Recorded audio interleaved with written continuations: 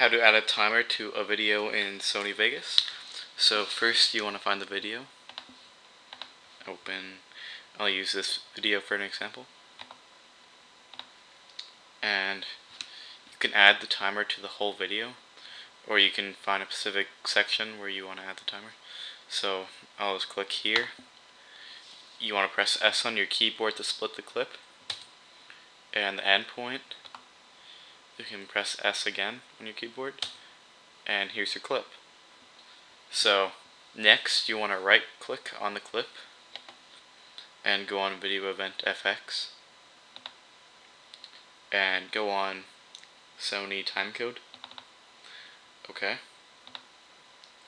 And sometimes it won't show up in here, the timecode. So you just want to click around go back on your clip and it'll be right there. So here you can choose how you want the time code to show. Like you can do time a little different, seconds. Choose whatever you want. I find time and seconds look the best.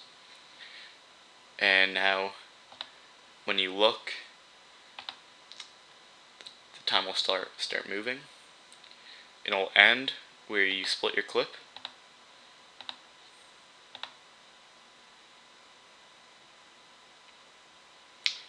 And if you want to make the timer more specific, when you're splitting it, you can zoom in here to look better at it, like adjust it more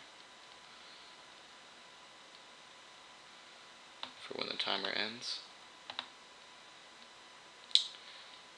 and unfortunately in Sony Vegas 11 Platinum you cannot end the timer unless you download a plugin.